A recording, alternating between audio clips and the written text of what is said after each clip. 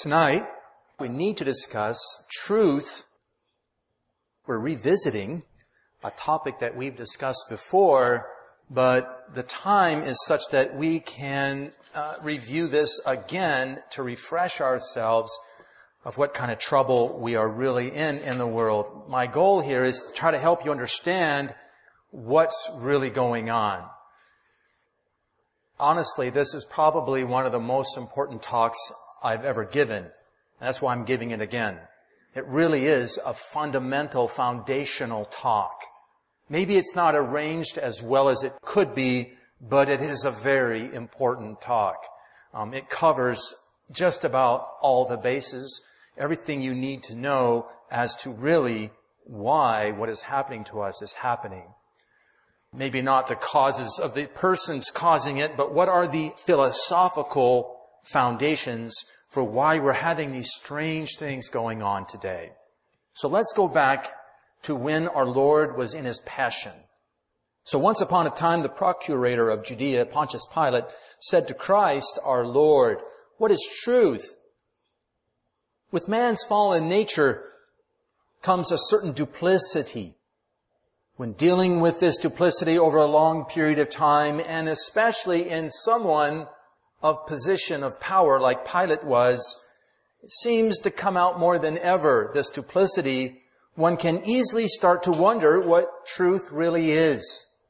We're so used to dealing with lies and duplicity, you start to wonder, truth, what's that? How many times have we been left wondering what to believe or who to believe? One can see how someone like Pilate might despair, exclaiming, Truth? What is truth? So we have lots of double speak today. We have lots of double speak today. Lots of political correctness. Truth is important. Pilate therefore said to Jesus, Art thou a king then? Jesus answered, Thou sayest that I am a king, for this was I born, and for this came I into the world, that I should give testimony to the truth. Everyone that is of the truth heareth my voice. And Pilate saith to him, What is truth? This is a very powerful phrase in the Bible. For this I was born. For this we were born too. To hear the truth and to love the truth. To give testimony to the truth. For this we were born. Once again, this is a very fundamental concept, very fundamental presentation on truth tonight. Okay, essential mark of all truth is conformity. So today, in this lecture, I hope to present to you an understanding of truth that will eliminate the frustration experienced by Pontius Pilate. And to do this, we must first realize the essential mark of truth is conformity or correspondence between two things. This is all truth. There's no exceptions. When we talk about truth, we're talking about conformity. A simple example, when building houses, the builder has to check frequently to see if the various parts are true or not. By true, he means it's, it corresponds to his level or his ruler.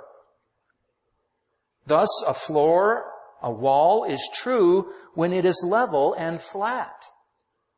If it does not conform to the straightness and flatness of the ruler and level, we say it is warped or it is twisted. With this essential notion of truth in mind, we can now consider the various types of truth that exist by considering what conforms to what. Keep in mind that our understanding of truth is fundamental to our knowledge and understanding of God and everything in the world. Okay, so truth is important. For this we were born. How we understand the truth and falsehood affects how we think. It affects many things, the good working of any society. It touches on every aspect of our lives, what we know, how we know it, what we believe and why we believe it. Who we have as our friends, how we live our lives and how we die all depend on our understanding of truth. This I hope to show with some important examples later. Now truth is fundamental. It's foundational. A small mistake in the foundation leads to bigger problems later. So, what is of prime importance here is this. If we get the fundamentals of truth wrong, it can lead to some pretty serious problems later. As all of us should know by now, a small error in the premises can lead to bigger problems in the conclusion. A problem in the foundation of a house is much more serious than problems in the exterior. You don't want to make a mistake at the bottom because the whole thing will fall down. Truth is fundamental. Listen to St. Teresa. She recounts how His Majesty came to her and said, all the harm that comes to the world comes from its not knowing the truths of scripture in clarity and truth. Alas, daughter, how few there are who truthfully love me. Do you know what it is to love me truthfully? It is to understand that everything that is displeasing to me is a lie. Everything that is displeasing to me is a lie. Father Frederick Faber, he speaks of heaven. Heaven is the land of love, but the hatred of heresy will not diminish there. For the hatred of heresy is the adoring love of God's ever blessed truth. So, what's he saying? People, saints in heaven. There is hatred in heaven. They hate something in heaven. What do they hate? Error, lies, falsehood, heresy. Even in the sea of love that is heaven, they hate untruth. So let's begin with our education, our deepening our knowledge and understanding of traditional definition and of truth. So the types of truth can be determined by reflecting on what conforms to what. Let's start with the traditional understanding of truth as was clarified by St. Thomas Aquinas. It wasn't made up by him. He was using long-standing tradition. And then we'll look at the more modern view of truth. Okay. In the traditional understanding of truth, let us begin at the highest level and work our way down. Yes, truth has levels. It is hierarchical. That's very helpful to understand that. Using analogy, if we were giving you an instruction on how to use a piece of equipment, the most important truths I would communicate to you first and then move on to lesser things. Thus, those things that could endanger your life are more important than those things that might cause a little discomfort. And you need to know what will endanger your life first, lest you make that mistake early on and die. And I have to go to prison for not telling you. So there's different kinds of truth based on what conforms to what. Different kinds of truth means there's levels of truth, and different levels of truth means truth is hierarchical. If you can understand that there is a hierarchy throughout the entire universe, you're already well ahead of the modern errors.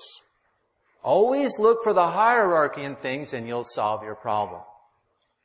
First and highest truth is God Himself. The highest truth is to be found in the highest being, and we find this truth is God. It's in God, who said, I am who am. And the truth in God is found between the infinitely perfect conformity between God knowing himself and God as known. God knowing is the Father, and what he knows is the Son, or the Word of God. Between the knower and the known, between the Father and the Son, there is infinitely complete and perfect conformity or correspondence. In God, the knower and the known are also persons. So the Son of God is truth. This means that truth at its highest level is personal. This is why our Lord said in the Gospel of St. John, I am the truth. This is also why any violation of the truth, that is some kind of a lie or fabrication, is always offensive to God. So we may think that this little lie will not hurt anyone, but that is incorrect. It hurts God who is truth. And in a moment, I hope to show you how it will also hurt you. Truth is personal at the highest level.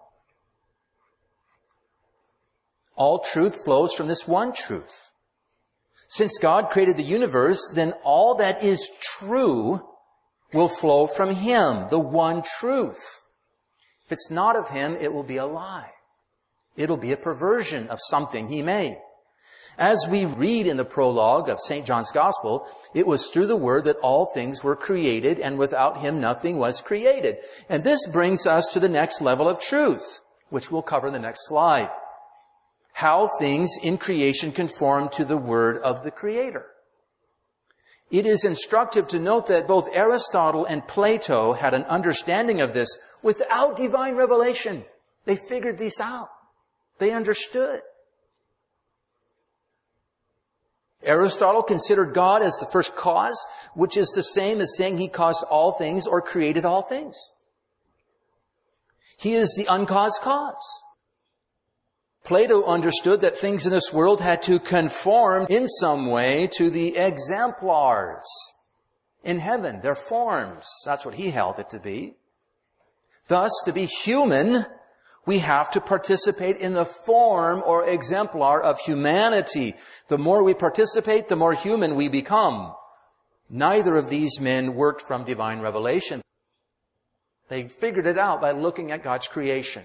So let's go to the next slide and see that the first level of truth after God as personal truth, God is the first truth, the next level down in our hierarchy is what is called ontological truth. Next level of truth. Created things conform to God's idea of them. St. Thomas and others call this ontological truth. This is a fancy word for saying that things made by God are true inasmuch as they conform to His idea of them. So ontological, ontology, the study of being, study of existence, essence of things, just a fancy word looking at creatures as God willed them. Now, note the direction of conformity. It is the thing outside conforming to the idea on the inside. Thing out there must conform here. So the direction is, is I got the idea, I'm gonna make it out there. Direction is going out, making sure this thing conforms to this. The idea or form precedes or is prior to the thing outside. I come up with an idea, then it's going to be made. Starts here, goes out. So the first kind of ontological truth, there's two kinds, is that which God uses to make things. Okay? There is that which is of God and that which is of man. That's the second kind. We'll talk about that next. For God, as we have said, it refers to how creation conforms to His Word. These are creatures. So created things conform to God's idea of them. Now we have the second kind, which is of man. It holds for man when he is making something. These are called artifacts. Note the difference. God creates, we make with what he gave us. Example, an architect has the idea of a building in his mind and then sets about making the available materials conform to this idea. So Michelangelo and had the statue of David or the Pietà in his mind and sets about making the marble conform to it. The more these things conform to the idea, the more true they are. This is ontological truth. So man makes things to conform to his own idea. Every artist should understand that one. The more it conforms to his idea, the more true it is. Now we should stop here and pause for a moment and reflect that divine revelation has told us that God made the world, the universe perfect at the beginning. It was truthful because it conformed to His Word. But we also know that He placed the ability to choose freely in certain creatures, namely angels and men. So God did not create anything defective. Everything was made according to His Word, and it was made well. But the devil and his companions, about a third of the angels, chose not to serve God. These angels fell and became perverted and twisted angels. They saw the Son of God somehow in vision, prevision, and they refused to serve the truth. And they fell. We call them demons. This is why our Lord said to the Pharisees that the devil is the father of lies. He is the first liar. The first to deform the truth. There you go. The abuse of the free choice of the will brought lies and perversions into the created order. So he stood not in the truth, our Lord tells us, because truth is not in him. When he speaketh a lie, he speaketh of his own, for he is a liar and the father thereof. So ontologically, he is deformed and perverted being. Artistically, he's always shown as some kind of a perversion, oftentimes associated with sewer items. And so he was experienced by the saints as well. Adam and Eve embraced his lie, and man became duplicitous. He became divided, as we're well aware. Adam and Eve chose to follow the counsel of this twisted angel, disguised as a serpent, and this brought lying into the heart of man, such that duplicity is a part of our daily life now. Such that people like Pilate exclaim, what is truth? Thus our Lord exclaims that things which proceed out of the mouth come forth from the heart, and those things defile a man. For from the man, from the heart of man come forth evil thoughts, murders, adulteries, fornications, thefts, false testimonies, blasphemies. These are the things that defile a man. So, the consequence, we have three images of man. When God makes things, He makes them according to His Word. And when making us, He made us in His own image. But due to this duplicity that entered in at the very beginning, we can deduce that there are really three images of ourselves. There is that image I have of my own self, which is flawed. Most people have an exaggerated view of themselves. Do we not find it hard to hear what others have to say about our faults? Next, there's the image that God has of us.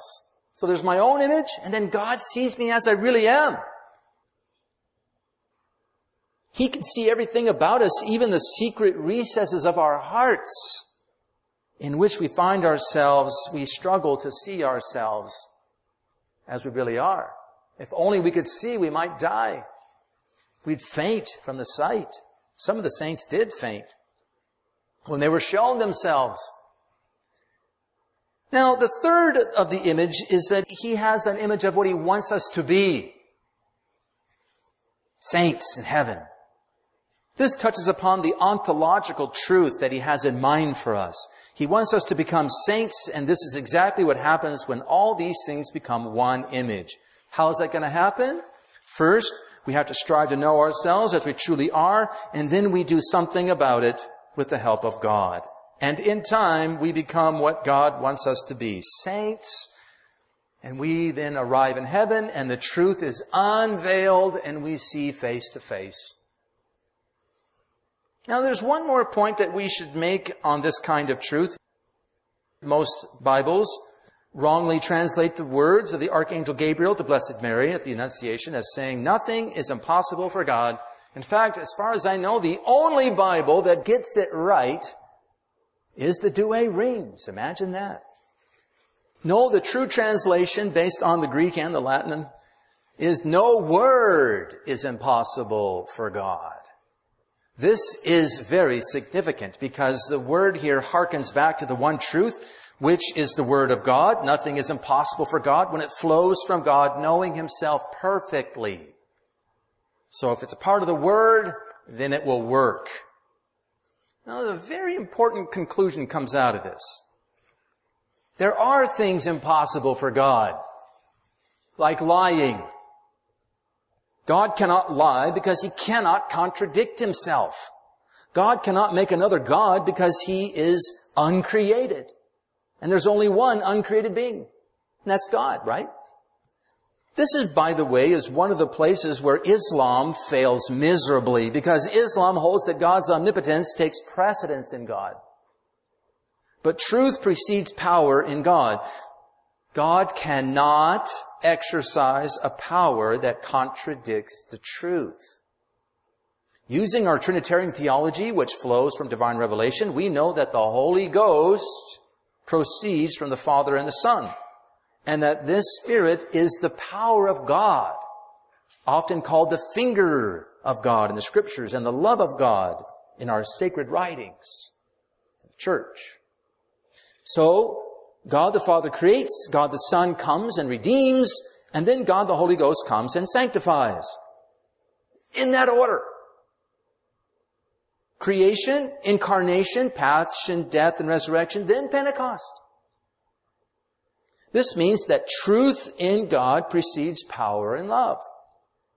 For us, this means that power must always be based upon what is true. And when it is not so, tyranny results, abuse results. Also, it means that the first duty of love is truth. Because I won't be able to love you properly unless I speak truthfully to you. You cannot say you love someone while lying to them or flattering them.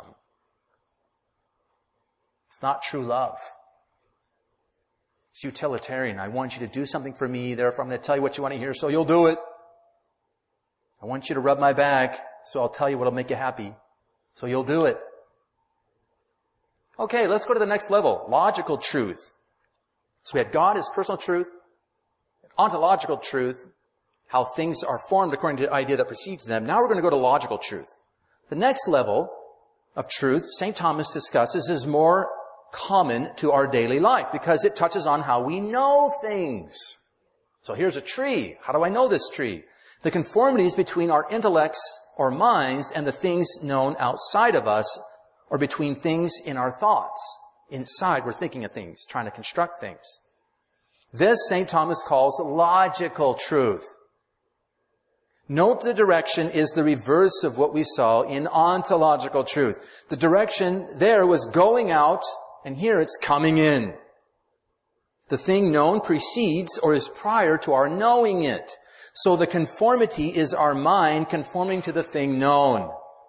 The more we can wrap our minds around something, the more we know it as it truly is. The more we come to know it. The more information we can gather about something, the more we can conform our minds to it. So, Here's a little example. A sort of truth can also exist in the abstract thinking of our minds. So, we're looking at this tree, and we're saying, okay, this is a tree. It's not a mineral, it's not animal, etc.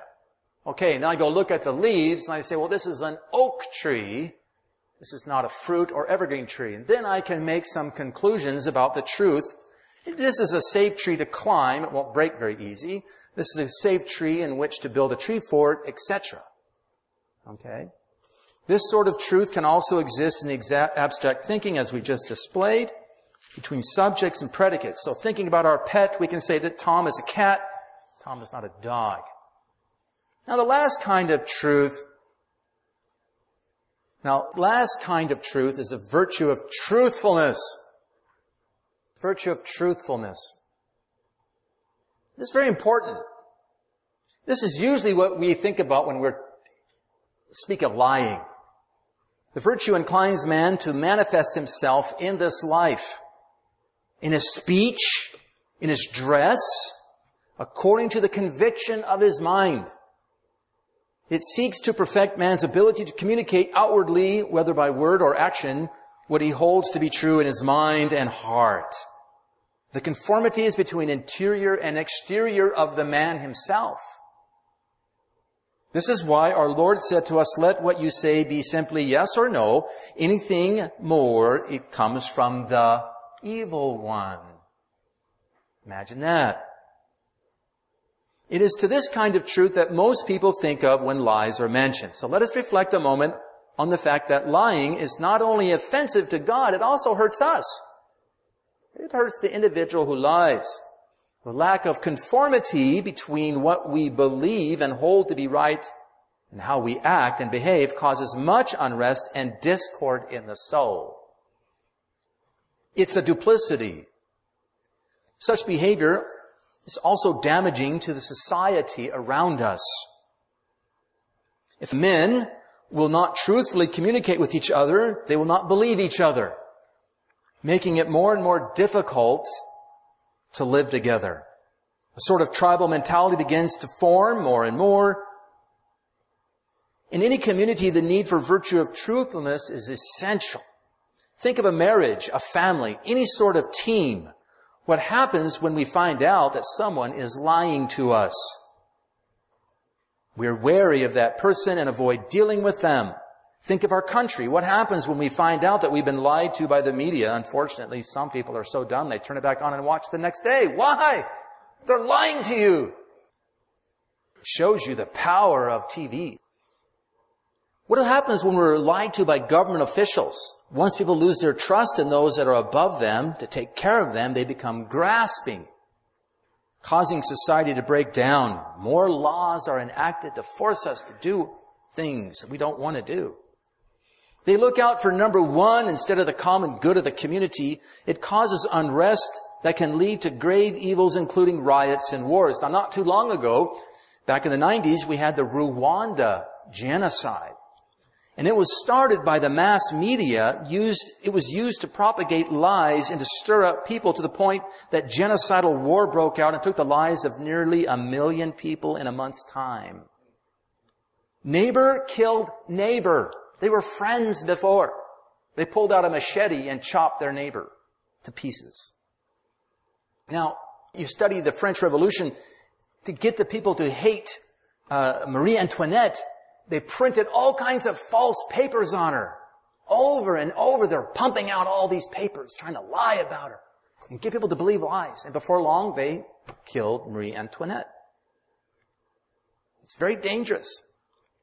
So truth is essential for unity and peace. There can be no real unity without building on the foundation of truth. So we like to say the only truth that will hurt you is a twisted truth. The real truth ultimately will set you free. So let's summarize now what we've learned. We've got the traditional levels, traditional understanding of truth. Starts with God. He's the first truth. He is truth itself. It's personal. Then we have ontological truth that He made the world according to His idea. Then we have the logical truth that we come to know it and we think about it inside, and then we live according to the truth. We have the virtue, a moral virtue of truthfulness. Very powerful teaching. Very powerful teaching. Thank you, St. Thomas Aquinas. Now, before we move on to the more modern view of truth, we need to reflect on a few more important points that follow from this traditional view of truth. First, even the ancient Greeks recognized that sciences were distinguished by the level of truth they sought. So we just saw that truth has levels. So you have sciences depending on what level you're at. These sciences are going to be, guess what? Hierarchical. Makes perfect sense. The higher the truth, the higher the science. And the higher the science, it can correct and help out the lower sciences. Because the principles for the higher science are more universal, more applicable than the ones down below. They have a higher vantage point from which they can see. Okay. This is powerful. I know it's a lot to absorb, but this is so important for the time in which we live. The highest science is that which studies the highest truth, namely God. Its body of knowledge is divine revelation. Recall that science is the study of some field of knowledge.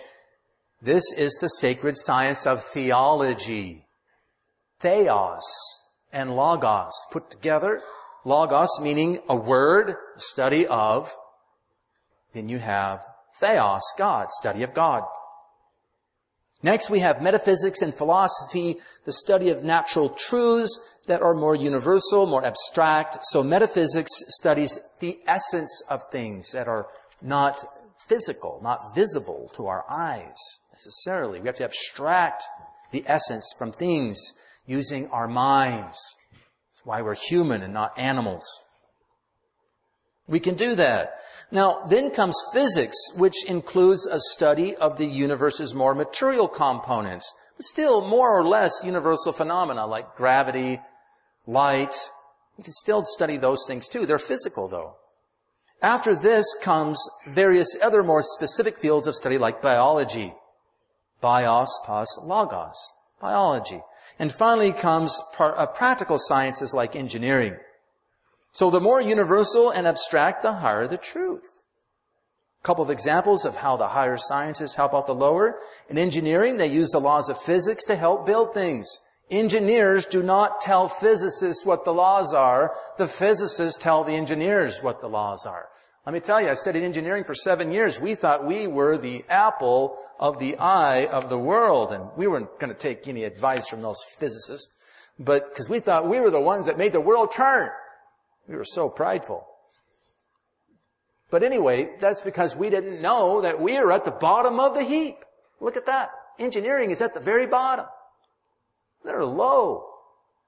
They think they're everything because they can make a Ferrari, make a jet fly. Well, how did they do that? Guess how they did it? They needed this help. Okay?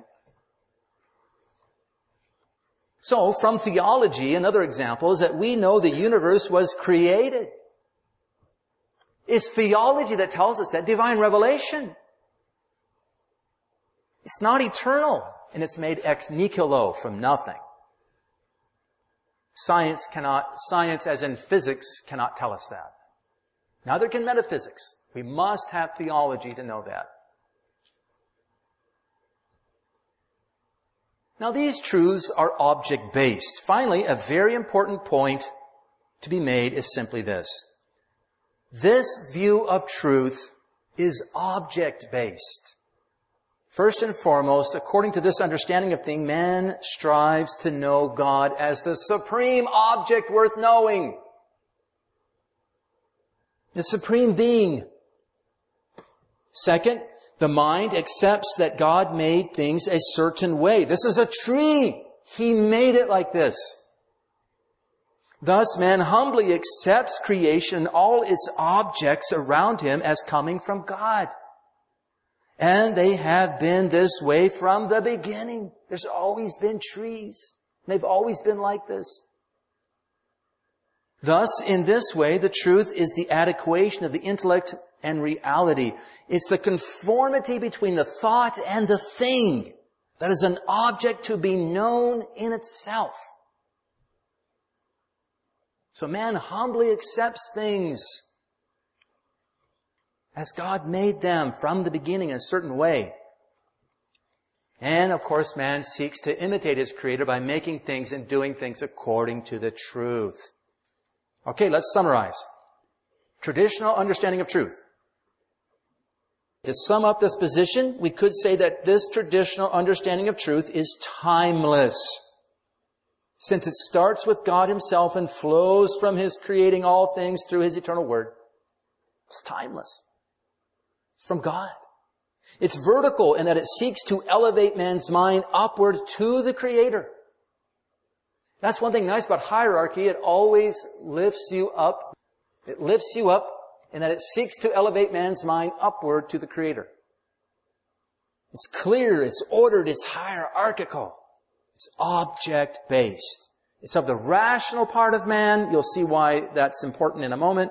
It's unchanging and permanent in that it depends upon the essences God placed in things from the beginning and they do not change.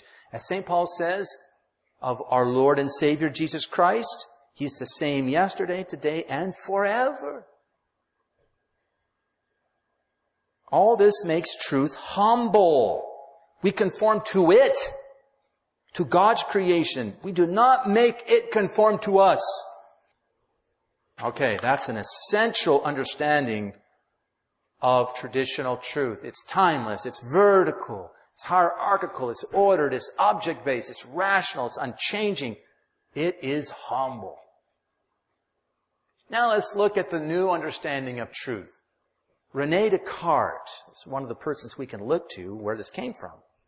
More recent view of truth that has come from modernity and the Enlightenment. Seems to me that the one who captures this more modern approach the best is the famous French philosopher Rene Descartes, dubbed the father of modern philosophy. Descartes rightly perceived that all truths were linked with one another, but for him, he wanted to find that one truth that could not be doubted. And once he found that truth, he could then use it as the fundamental truth and proceed with logic to open the way to all science, to all understanding. Seeking this one fundamental truth, Descartes took a little journey of doubting. Instead of seeing the reality around him as a certain and real thing, he doubted it since he had been wrong before. So haven't you been driving down the road and you see a big mountain range? It looks like one from a distance and it's just a bank of clouds. Stormy clouds, like snow-covered mountains. I was wrong. Or we see a paddle bent in water. We say, hey, I've been wrong about something before. I might be wrong about everything.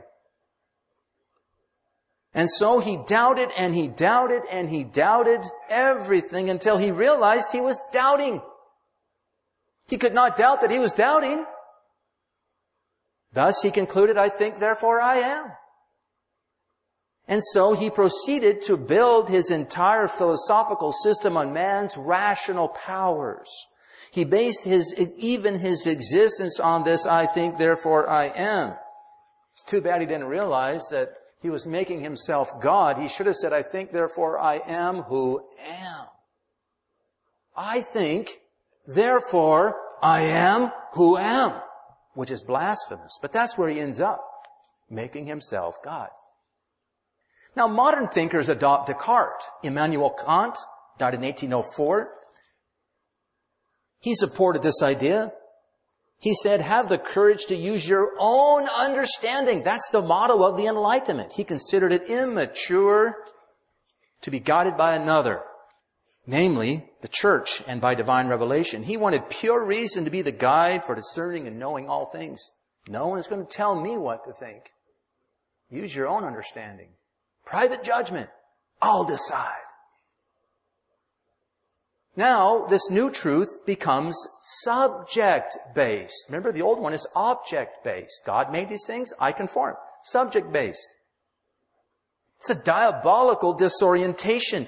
This leads to a near complete reversal of everything I just presented above. No longer do we have an object-based reality, a reality based on the objects that God has placed there by His thinking about them and making them and commanding them to be but rather it becomes a subject-based reality. Man becomes the source of all ontological truth. Man has taken the place of God. All depends on the thinking and experience of man. Thus, the controversy of the ancient Greek Protagoras came back with Descartes. For it was Protagoras who said, man is the measure of all things. And didn't we not grow up with the idea did we not grow up with the idea that man is the measure of all things? Or with the other idea, what is it? Mind over matter. Just put your mind to it. Go out there and do it. Make it happen. Put your mind to it. I mean, I've heard that all my life. That's from this way of thinking. It's not like this. What does the Lord want me to do? I need to go discern what God's will is for me. What will please Him the most? No! Put your mind to it. Go do it. That's what we're taught. Man will decide what is true and false, what is good and bad. Man will make things conform to his ideas. I'll make it happen. now, the new truth will involve a sort of motion then, a sort of a coming. Before we can accurately summarize the new view of truth, that arises from this way of proceeding, we need to examine a few more elements of, of importance. And that is simply this. These various men kind of gave contributions during the Enlightenment. Newton, Hegel, Marx, and Darwin are examples. They saw the world as under the aspect of motion, strife, and struggle. Newton spoke of forces, Darwin of natural selection and evolution, while Hegel and Marx used the notion of dialectic. The key factor is becoming. Now, none of these guys want to talk about sin and divisions caused by sin, and that's where the struggle is coming from. No, no, no. We've got to work at things and make it happen, not overcome our sinfulness and learn to love each other. Now we've got the Hegelian dialectic that came out of this. This is extremely important stuff. Modern philosophers such as Hegel propose a dialectical, I know it's a fancy word, okay, but this dialectical view of nature and history.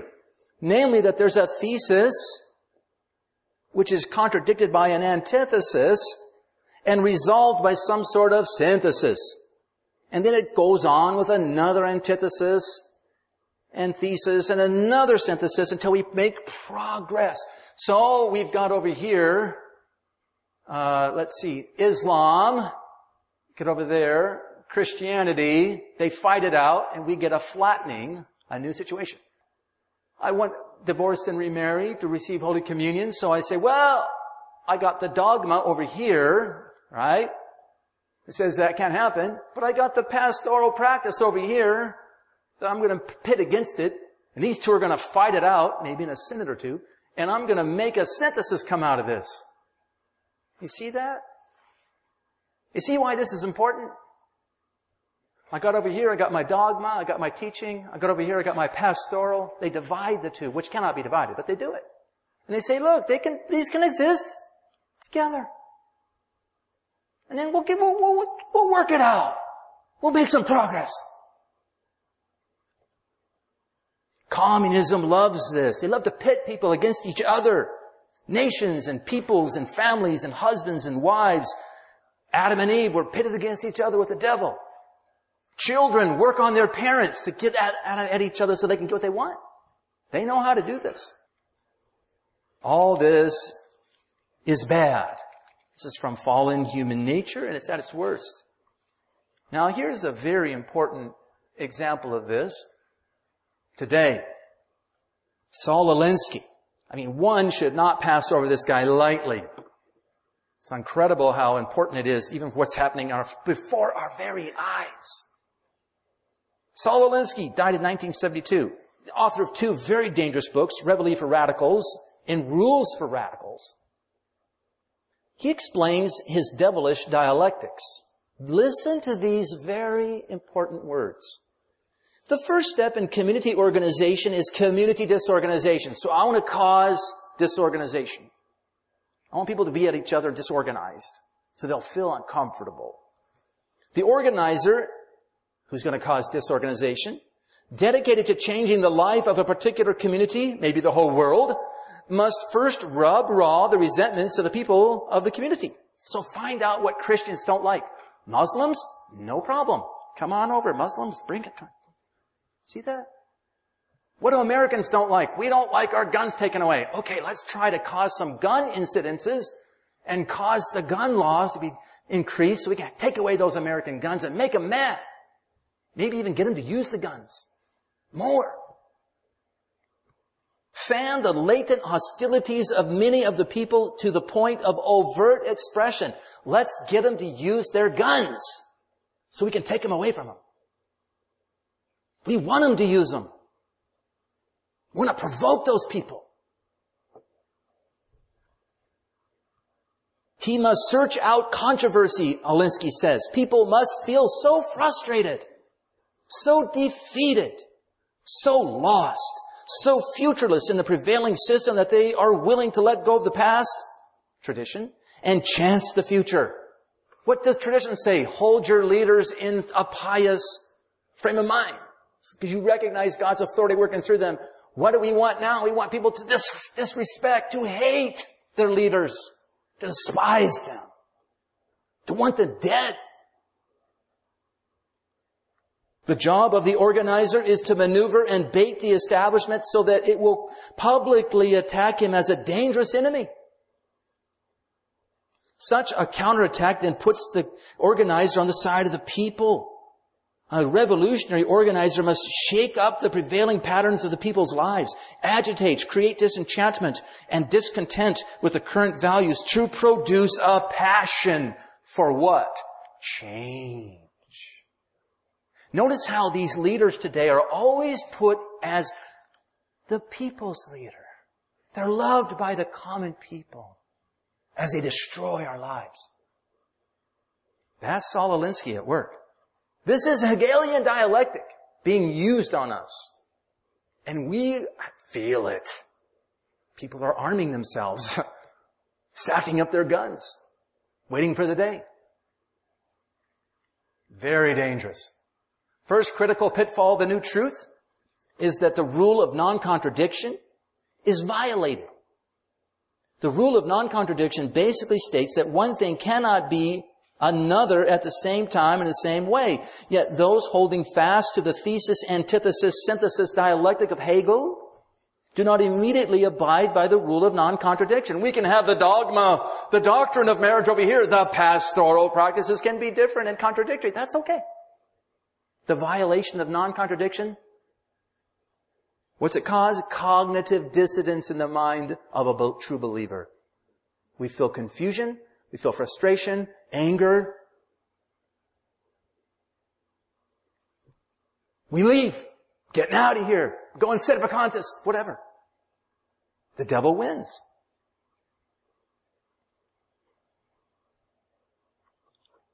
So we have these duplicitous situations going on. You study your history, you study your teachings, you go back to the uh, infallible teaching of Pope Pius IX, the syllabus of errors, and you see all these things condemned, and you turn on the TV, and you read some blog or something of what's been said recently by someone in high authority, and it's totally contradictory. And they say, but I'm Catholic. Wait a minute. Uh, what's going on? I don't get it. How can the Pope be here saying this back then and now saying this now? They don't go together. This is the Hegelian thing at work before our very eyes. We have two masses in the Latin Rite. We've got the extraordinary form, we've got the ordinary form. Let's face it, they don't get along. We look at each other across the aisle. There's a thesis and antithesis, and it's supposed to hammer out to become a synthesis. Recently, we saw the Pope going to uh, Cuba. Big picture of Che Guevara, mass murderer, revolutionary extraordinary. And then here's a crucifix over here, see? And we're supposed to say, these go together? What are you crazy? The new truth, as embraced today, using these faulty ways of thinking, the new understanding of truth can be captured as the conformity between the mind and life. This is their definition. It's predominated over the last century or more. It's a new revolutionary view of truth, a new revolutionary definition. This is the adequation of thought and life. And this is total reversal of the established order of truth as the adequation of thought to things that are fixed in their essence. This means that if life changes, so will what I believe as true change with it. Listen to Garrigou Lagrange, a giant of the Dominican order and of theology back in the 1940s and 50s. He says, for them, the truth is no longer that which is, but that which is becoming and is constantly and always changing. So, what's another pitfall? of this new truth? Relativism. Note here that such a position effectively cuts off ontological truth based on God as the creator, cuts him out of the picture. Man now is the measure of all things, not God, not the Word of God.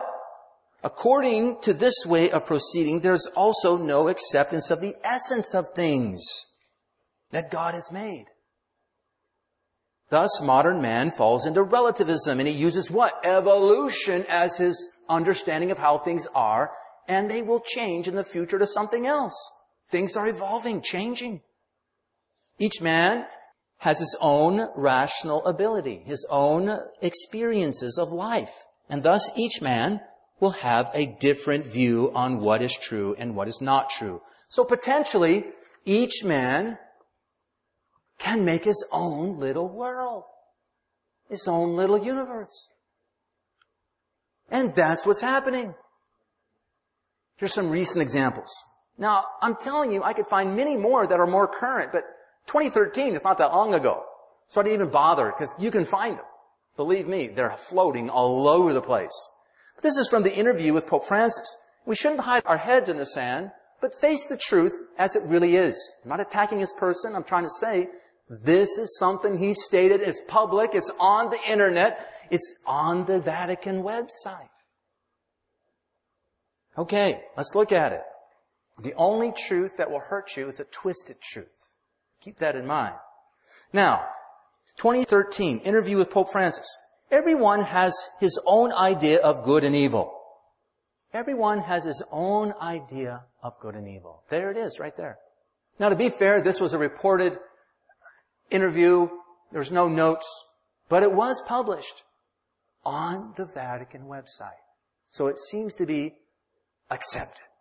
So everyone has his own idea of good and evil. What about God's idea of good and evil? What about his divine revelation? He's got their own idea. And everyone should follow the good and fight evil as he conceives them. I'm not going to conform to what God says. I'll decide what's good and evil. November 2013, the Italian president quoted Pope Francis. In your words, we have felt vibrate the spirit of the Second Vatican Council as, quote, a rereading of the gospel in the light of contemporary culture, end quote. A rereading. In other words, we're going to take the gospel and we're going to make it conform to today. Not we conform to it. You see the reversal? Rene Descartes strikes again. October 2014, Synod, Instrumentum Laboris. They were hoping to have a public discussion which could permit a rereading of the concept of the natural law in a more meaningful manner in today's world. Imagine that. We need to reread the natural law to fit us. 2014, German ethics panel ruling on whether a brother or a sister could legally marry, quoting Justice Anthony Kennedy, our own Supreme Court Justice. Quote, at the heart of liberty, that comes from hell, is the right to define one's own concept of existence. I have the right to define my existence of meaning, of the universe, and of the mystery of human life. And then they allowed a brother and sister to marry in Germany, legally. Listen to this statement from the interviewer of Pope Francis, that 2013 interview. This is extremely prescient, very telling. Your Holiness, may I tell you something about my own cultural background? I was raised by a mother who was a strict Catholic. At the age of 12, I won a catechism contest held by all the parishes in Rome, and I was given a prize by the vicariate. I was a practicing Catholic and a true believer. But all that changed when I entered high school. I read, among other philosophical texts, that we studied Rene Descartes. Imagine that. Discourse on method I read, and I was struck by the phrase which has now become an icon. I think Therefore I am. The individual thus became the basis of human experience, the seat of free thought. The individual, the man himself, became the basis of human existence, the seat of free thought. He laid the foundation for a very different vision, and I happened to follow that path, which later, supported by other things, I read led me to a very different place. Now, I believe in being, capital B, that is in the tissue from which forms, bodies arise. Being is the fabric of energy. God's just the energy that holds the universe together. chaotic but indestructible energy and eternal chaos, not order. This is blasphemy. This is from hell. This is directly from the occult. This man went to the occult. Unknowing to him, he went straight into it because he followed the path of Rene Descartes. He goes on and on about this energy. It's all occult. So we must stop for a moment and consider the occult connections. Madame Helena Blavatsky, she died in 1891. She's like the devil's St. Teresa of Jesus is for us. That's his mystical bride. Madame Helena Blavatsky, founders of Theosophy. See the snake around her finger? She's trying to give you the evil eye even there. Enough of her. Okay. The occult connections. She was seeking ways to liberate the human mind. Imagine that. Liberate it from what? I don't want to conform to God. I want to be free. When asked, is there such a thing as an absolute truth in the hands of any one party or man? She answers, there cannot be. There's no room for absolute truth upon any subject whatsoever. But there are relative truths and we have to make the best we can of them. Total relativist. There it is. Relativism. Madame Helena Blavatsky. One of her life's goals should sound familiar to us, unfortunately, is to encourage the study of comparative religion. Let's look at all the religions in the world. They got something to offer. Philosophy, comparative philosophy and science. She held that the truth is the substratum and basis of all the world's religions and philosophies. What truth is the basis of all the world's religions and philosophies? Relative truth. This is not a complimentary statement. Relativism is occult based. It flows out of the mouth of the devil.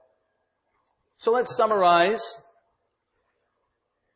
Whereas the traditional view of truth is God-centered, the latter is man-centered.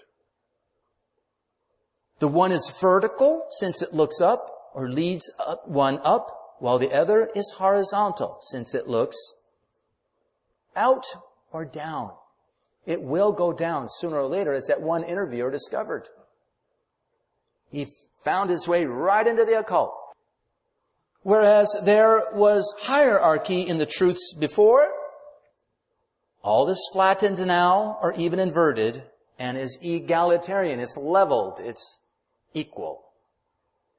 Whereas the traditional view of truth is timeless, this one is temporal since it is based on man's view of life which is always becoming. Whereas the traditional view was more defined, clear and limpid, this one tends to be confused and chaotic since it always is developing and changing. It's unstable. It's revolutionary. Remember what that man said? It's chaos. Eternal chaos. Whereas the traditional form of truth operates from the rational part of man, this form of truth easily becomes more charismatic. Since it easily falls prey to man's emotions, affections, feelings, and imagination. His experiences. The traditional view is humble in that it accepts things the way God made them and seeks to use them according to their natures. The new way manipulates the natures of things to conform to his ideas. Mind over matter. There's a battle going on here. Traditional truth versus modern truth. Let's consider how this battle is played out in a few categories. Food and nutrition. Okay, traditionally we accept the way that God made the food supply and we work with it accordingly. We work with a genetic code already present and given by God. And so we have things like hybrids. We can kind of experiment and see how it works out. But in modern mind, does not accept these things. It seeks to modify things to fit man's needs. What does he do? He strips away what God's given. So we process the food. Why? We want it to last a long time on the shelf.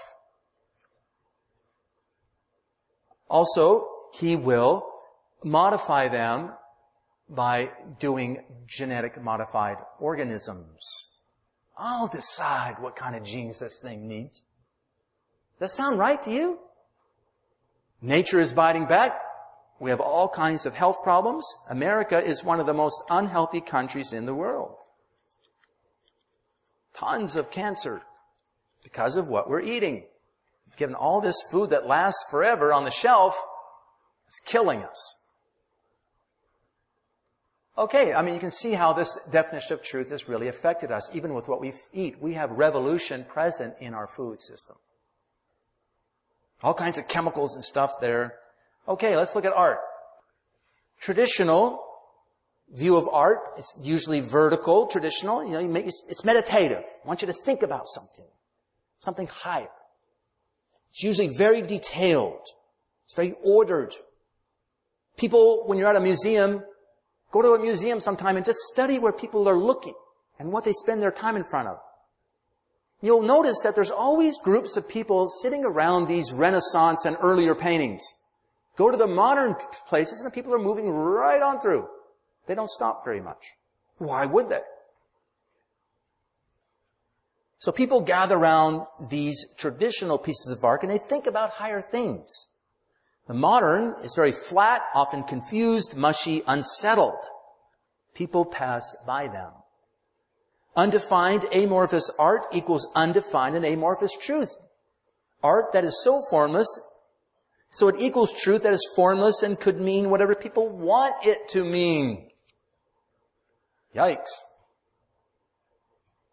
Here's an example. And I guess Picasso, I mean, he could actually paint very well, but he was reflecting his inside there. Huh? G.K. Chesterton summed it up quite well, if you remember. He said, first there was art for God's sake. Then there was art for man's sake. Then there was art for art's sake. And now there is no art for God's sake.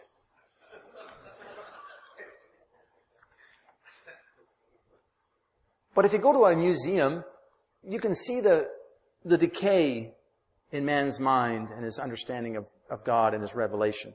You go back to pre-Renaissance times, very, very devout. And then you've got the Renaissance, which has a mixture. You can see there was some more painting being paid by the church to paint these beautiful paintings. They're also on the side painting some muses or some Greek Roman thing. The clothes started to come off. And then you got like in the 17th and 18th centuries, maybe, they're painting a lot of humans and all of a sudden. A lot of man. Hardly anything of God. Then you get the 19th and 20th centuries and they're just going downhill. Weird stuff starts to pop out.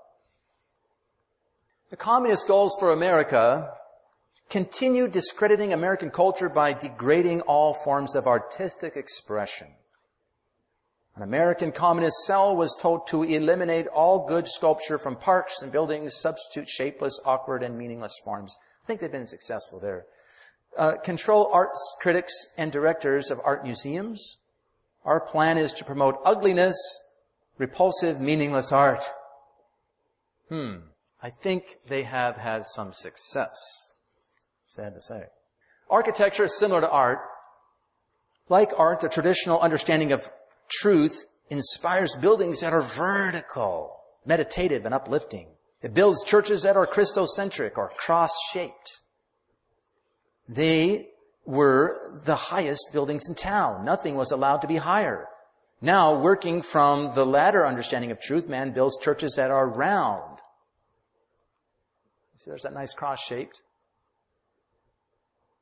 Chartres Cathedral you can see there's a battle going on. Here's man today, Atlas, holding up the world, and all these ugly buildings around. Then you got St. Patrick's right in the middle of it, and they all dwarf St. Patrick's. So this is more important than church. We don't want this to be the highest building around. We want to hide it. That's New York way of thinking there, huh? Well, this is what we got now. Now no one knows for sure whether they are at a church or not. The churches are round, flat, and man-centered. Man builds skyscrapers like modern towers of Babel to look down on the churches, as we've seen. Churches of old were built to be permanent, like St. John Lateran is still up. as old as can be. It's supposed to last to the end of the world. Some of these churches will last. While the new ones are temporary, not built to last very long. The early churches were intricate, ordered, symmetrical, and even cosmic in their design. The Chartres Cathedral is cosmic in its design. All kinds of cosmic realities are represented in it. Their symbols leave nothing to be guessed at. Rather, they're beautiful puzzles to be worked out. They were hierarchically arranged. They were hierarchically arranged. One had to climb stairs to enter them. The sanctuaries were elevated. Now, sad to say, some of these churches you actually have to go down. They're like auditoriums like this one. I actually used to attend this church when I was in college. This is in Corvallis, Oregon. Oregon State University. This is St. Mary's. Of course, it was something like Our Lady Help of Christian. Can't have that anymore. Just St. Mary's. It's like an auditorium where the most important thing is what? You know it. The sound system. That's the most important thing in a modern church the sound system. The heating systems, the cooling and lighting systems come in second and third maybe. There's rarely anything about them that lifts the soul heavenward, but rather flat or even worse. Some having the sanctuary and altar in the lowest place. What happened to the high altar? What happened to going up to the mountain of God? To the altar of God? Introibo ad altare Dei. Adem even tutemea. We don't want to be young anymore. We don't want to have God as our Father, it seems. We want to go down. Some of them have purposely arranged things in an asymmetrical manner to give the feeling of uneasiness and that one is in motion. So oftentimes you go into these new churches and all the furniture is strangely arranged and you feel uncomfortable. Everything's out of place. That's done on purpose. Let's go to music. The first truth leads to music that elevates the heart and mind upwards without focusing on any one man involved. Here I'm thinking of Gregorian chant and polyphony and various classical works. These forms of music do not highlight individual men or instruments, but are sung and performed such that all can contribute. So it's symphonies. And so God is inevitably the theme of these works. They're enduring. We still use them. They're very inspiring to this day. They strike us in the rational part and the spiritual part of our souls, and they filter down. It is interesting to note that Gregorian chant has been proven to settle restless souls. In a nursing home I have visited, more than one actually, they, they talk about how it helps certain aberrations in older people. There's these certain aberrations where they just can't sit still, so they're just walking all, all day long. And they give them Gregorian chant and they calm down. They calm down. Modern music, unfortunately, we hear this all the time. As time has progressed, the other truth began to take precedence in the formation of music.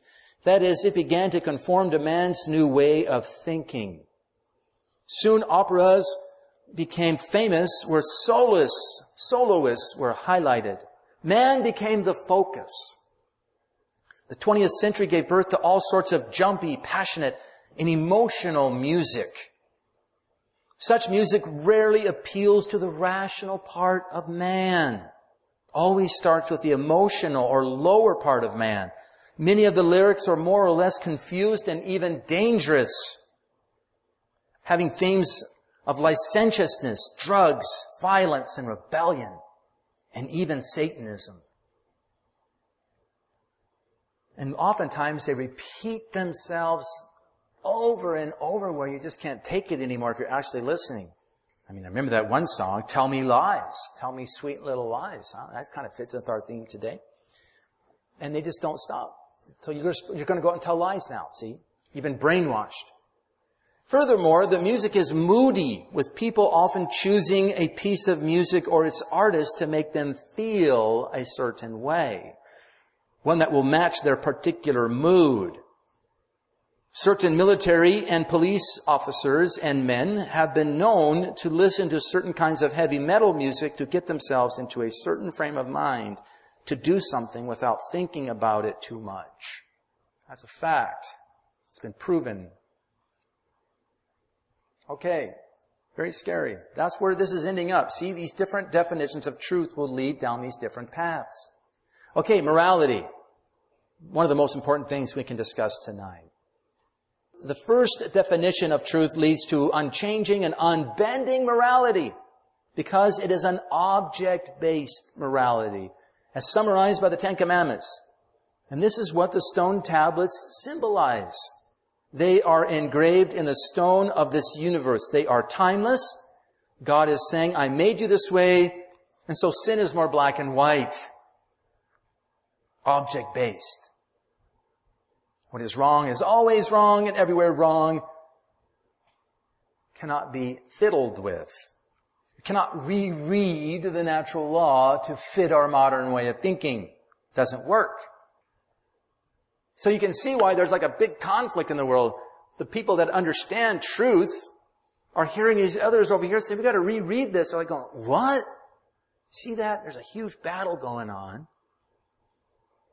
between these two different basic understandings. Let's go to the modern understanding of morality. Since man is always becoming, Man is evolving morally, producing a subject-based morality is being relative. This is why we have things like values clarification. So his morality is always becoming. What is wrong for me yesterday may not be wrong for me tomorrow. So values clarification was introduced some time ago as a method that merely attempts to make a person know his or her own personal morality. Clarify it to him. So in my high school, Catholic high school, the teacher uh, drew on the board a line. On this side, he put, abortion is legal. And then he put on this side, is it moral? And then, of course, you know what happened next. We broke up into little groups. Imagine that. And we sat there and discussed it. And by the time we were done, we presented our cases and only a few people in the class agreed. Only a few. That abortion was always wrong. No matter what. Everybody else had determined certain situations in which it was okay. Values clarification. The teacher never clarified the Catholic teaching. We left class with our own values clarified. Yes, for some, no for others. It's okay. The first understanding of truth affects morality by pointing to God, that sin hurts Him. The latter is more concerned with how sin hurts man. See? In his environment. Thus we have new sins against the environment. And the earth is being stressed more than God. Rights of man are stressed over the rights of God. If his rights are considered at all. When was the last time you heard anybody say, what is God's rights?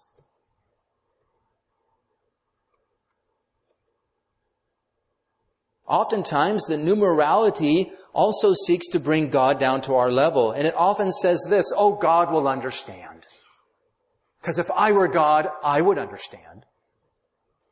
I think, therefore I am who am.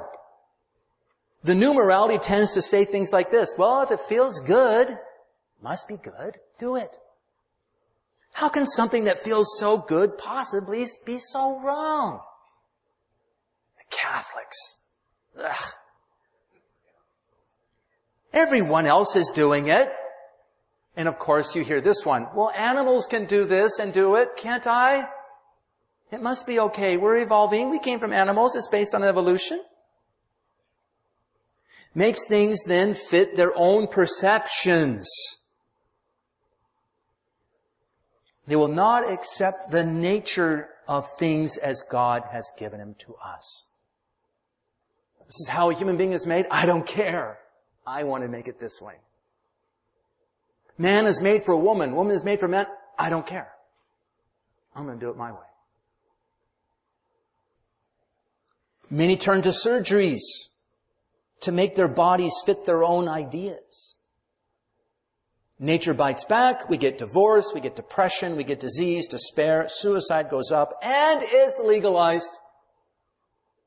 We're legalizing suicide now. From the viewpoint of a priest, here's an example of it. Very simple. You're in a confession, you're hearing a confession. So people come in that have a good, clear understanding of truth. And they say things like this. I did this or that so many times since my last confession. The next person comes in, maybe, but they're based upon a more modern view of truth because that's how we've been raised. And they speak about how things have hurt them or hurt them or hurting others or what situation in their life rather than confessing their sins in kind and number. They talk about their experiences rather than what's wrong, sinfully wise. And sometimes those things need to be talked about. I'm not against that. But when you come to confession, you're supposed to say, Father, bless me for I've sinned. It's been a week since my last confession. I did this so many times. You can see how that's affected us. And so sometimes confessions can be very long because the priest is trying to get them to confess their sins. No offense to anybody here. I'm not talking about anybody individual, but this is generally what's wrong today. Okay, Humanist Manifesto 1 through 3. This is, there's three levels. It started in the 1930s and the 1970s, 1980s. So there's three levels, I think. They added on to it. But just a quick, just to show you, we're getting close to the end. But we begin with humans, not God. with nature, not deity using technology wisely, we can control our environment. Yes, we're doing a wonderful job. We can control poverty, markedly reduce disease, extend our lifespan. I mean, this is a joke. All these things are just not happening. We can significantly modify our behavior. Anybody watch that Satan statue being revealed in, in Detroit? Is that what they call modifying our human behavior? Alter the course of human evolution and cultural development. GMOs, embryo stem cell research. Unlock vast new powers. Fukushima. And provide humankind with unparalleled opportunity for achieving abundant and meaningful life. Yeah. Despair, suicides on the rise. Values and ideas Ideals, however carefully wrought, are subject to change as our knowledge and understanding advance. We affirm that moral values derive their source from human experience, not from the Ten Commandments. And this is what we get. This is what's supposed to happen, but you can do whatever you want now. You can have polygamy. You can have a wife with multiple husbands. Polyandry. You can have other unsavory unions that are now legal in America. What do you want? It's up for grabs. Take your pick. A lady in Florida married a dolphin. Who can tell her not to? I have the right to make my own world. And we should spend a few moments here on language because this really is also key importance. Traditional, we seek to use language that is fixed in its meaning. It's not easily manipulated. Language that will convey truths down through time. How many times have you heard of something like this? Oh, Latin, that's a dead language. Thank God it's dead. So it can't be manipulated and fiddled with. And that's why the church's teaching has always been set in Latin to show that it's timeless. That It's not going to change. What's the modern view? Well, we want a language that evolves, is flexible and adaptable. Wants to use the same words, but with new and different meanings. So we have a certain double speak. So modernists, they'll keep the outward shell, they'll use the right words. I believe in hell, but it's empty. So they take the name and they gut it of its meaning and they put something else in there. And they say, see, I believe in hell. You can't condemn me as a heretic now. They want to fiddle with words. Listen to George Orwell's definition of double think. We could say double speak. To know and not to know, to be conscious of complete truthfulness while telling carefully constructed lies.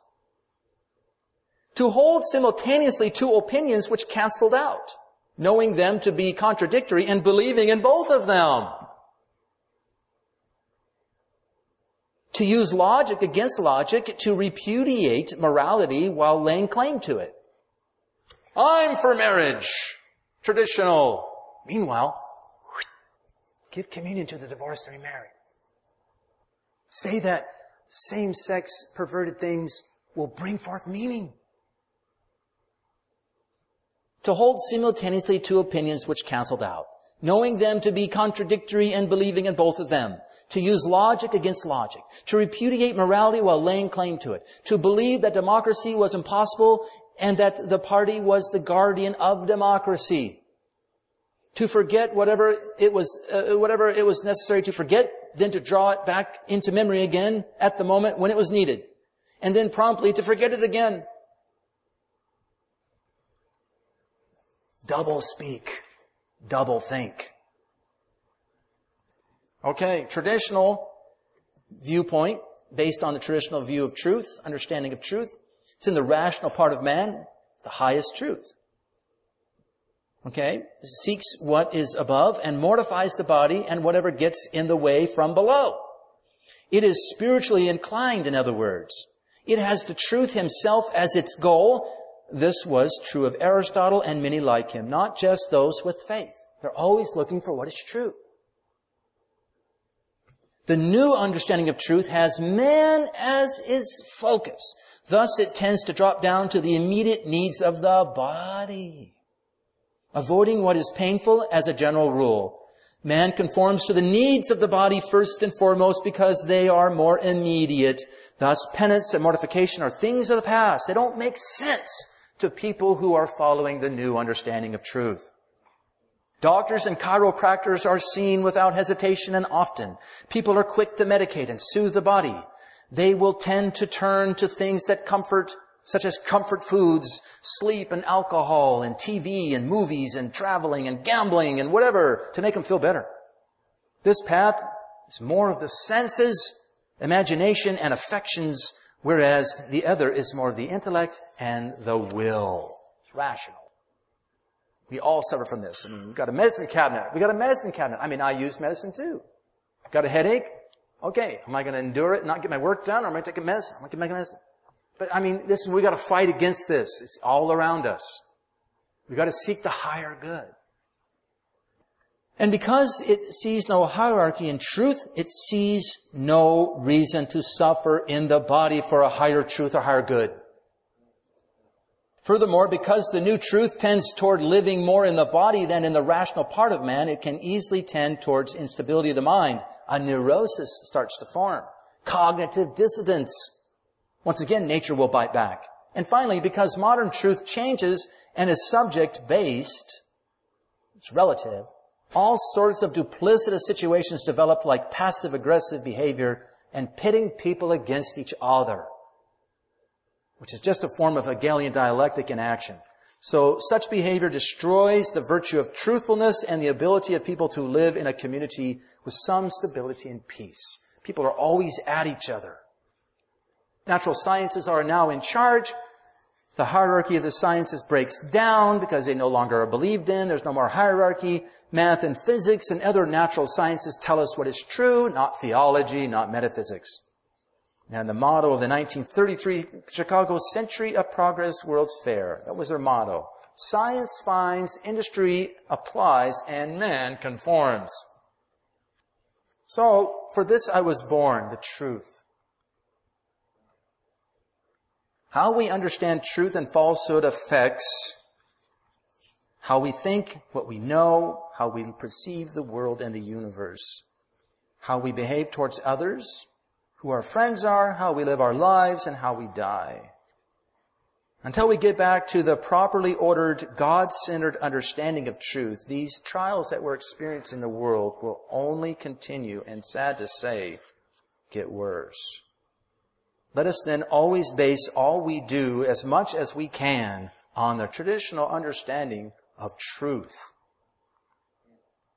Glory be to the Father and to the Son and to the Holy Ghost, as it was in the beginning, is now, and ever shall be, world without end. Amen.